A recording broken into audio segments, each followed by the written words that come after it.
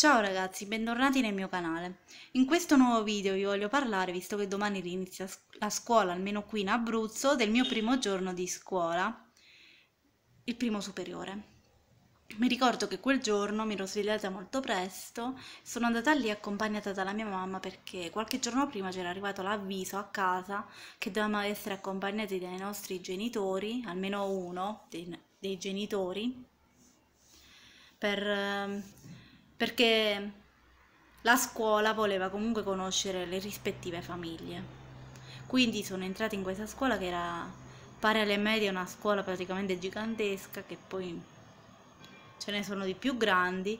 E la bidella ci ha detto dove dovevamo andare. Siamo entrati in quest'aula lo stesso gigante, ci siamo seduti tutti quanti e la vicepresa ha spiegato un pochettino il regolamento, tipo niente cellulare, niente bibite durante le lezioni, vabbè, cose che comunque più o meno tutti conosciamo a memoria.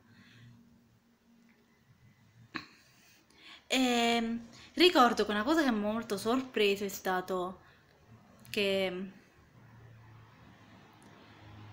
che non si poteva fumare dentro la scuola o ci sarebbe stata una multa, perché di solito io immagino, mi immagino più che altro i professori che dicono non potete fumare dentro la scuola perché altrimenti scatta la punizione, ma addirittura la multa.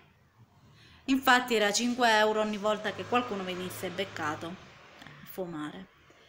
Però io per fortuna non ho mai fumato in vita mia, quindi potevo stare tranquilla. Un'altra cosa che mi ha lasciato sorpresa è stata che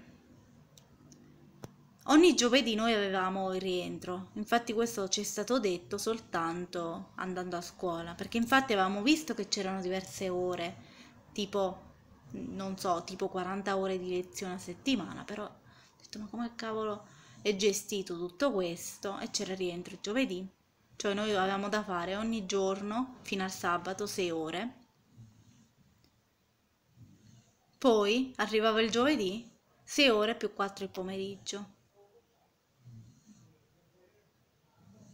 E quindi alla fine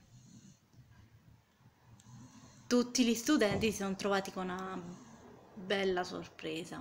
Che poi tra l'altro la scuola non aveva anche la mensa. Quindi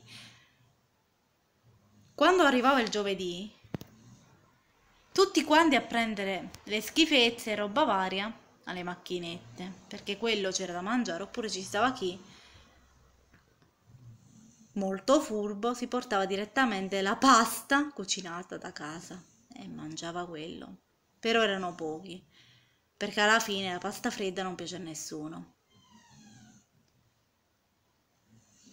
E poi mi ricordo che la vicepreside ha detto, vabbè, voi andate in classe, tutti nelle vostre classi, però non avevo capito in che classe ero capitata. Quindi io e la mia mamma ci siamo avvicinate a questa signora, alla vicepreside, e le abbiamo detto che io non sapevo dove andare.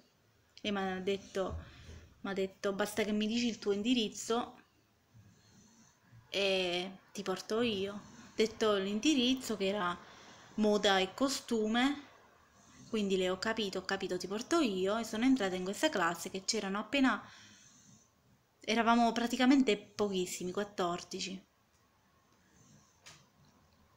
e quindi mi ricordo che c'era questo professore che insegnava diritto che ci ha dettato l'orario però lì era molto diverso dalle medie, cioè alle medie noi avevamo un'unica classe dove facevamo musica, educazione artistica, tutto, tranne ginnastica che la facevamo in palestra, però le altre materie tutto facevamo in un'unica aula, invece alle scuole superiori era diverso. E mi ricordo che questo professore iniziò a dettare pure molto velocemente, dicendo tipo scienze aula 8, inglese aula 11, e io non ci capivo nulla, però il genio, che voi vedete qui, proprio il genio, cosa ha fatto? Si era scritto l'orario, però aveva tralasciato l'aula, perché tanto, vabbè, le aule non sono importanti. Il giorno dopo, infatti, ebbi un grave problema, perché sapevo che lezioni avevo, sapevo che materie avevo, però non sapevo dove trovare la mia classe. Quindi i miei genitori sono stati costretti a risolvere questo problemino, a tornare dalla vicepresa dire guarda così e poi la vicepresa mi ha dato tutte le indicazioni, per fortuna. Vabbè, poi mi ricordo che questo professore non è che ci lasciò, diciamo, nell'aula, ci ha fatto fare un giro turistico per la scuola, tipo ci ha spiegato. Ci ha portato nei laboratori, laboratorio sia di moda che di pittura, perché i primi due anni, in realtà, anche se avevo scelto l'indirizzo moda e costume, in realtà noi facevamo tutto Facevamo anche pittura, anche se non era il nostro indirizzo, però si faceva anche pittura. E poi dal terzo anno in poi abbiamo fatto solo moda. E poi alla fine, per concludere, ci portò in palestra, una palestra che era piccolina. Cioè io mi immaginavo una palestra molto più grande perché una scuola così grande che si ritrova praticamente un buco di palestra, però andava bene così. E mi ricordo che c'era questo insegnante che parlava con l'accento dell'Emilia Romagna perché molto probabilmente veniva da lì. Perlomeno a me sembrava che fosse dell'Emilia Romagna il suo accento, dato che ci sono stata parecchie volte in quella regione parlavano tutti come lei. Ehm, ehm, quindi ho avuto il sospetto che lei venisse da lì. Praticamente lei ci ha spiegato il regolamento, la ginnastica, che dovevamo portare tutti le scarpe di ricambio. Vabbè, questo si usava pure alle medie. Cioè tu non potevi avere le stesse scarpe, cioè anche se tu avevi le scarpe da ginnastica, però dovevi per forza cambiarle lì.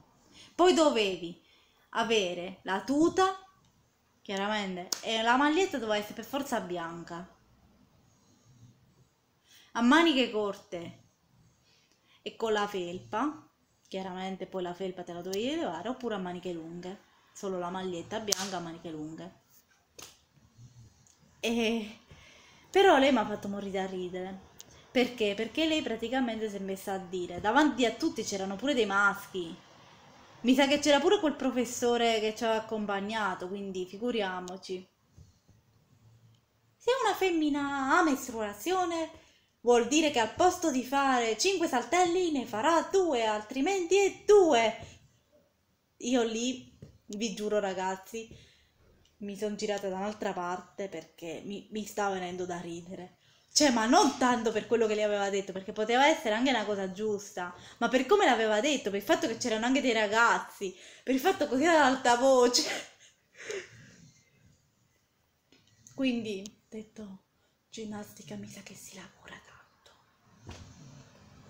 Eh sì.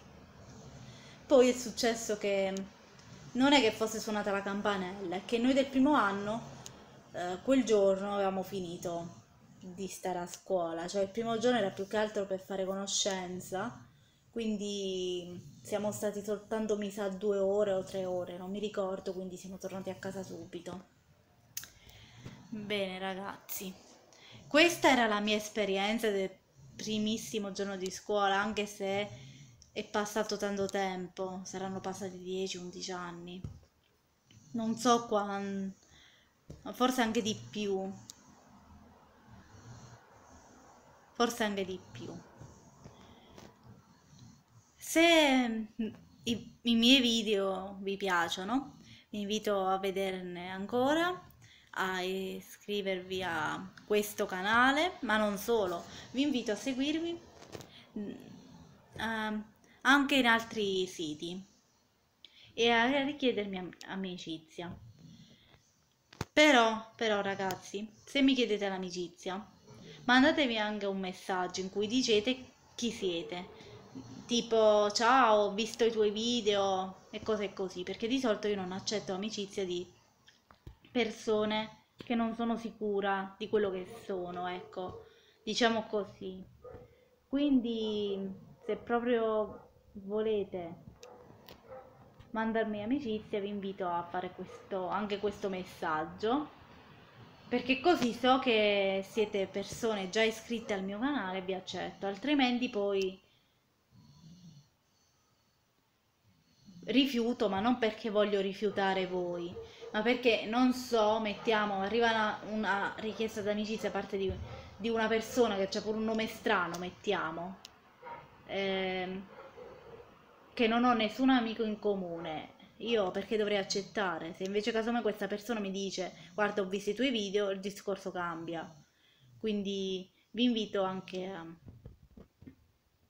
seguire in altre circostanze e vi ringrazio perché ho notato che ogni giorno siete sempre di più su questo canale lo so che 57 56 persone 58 quello che è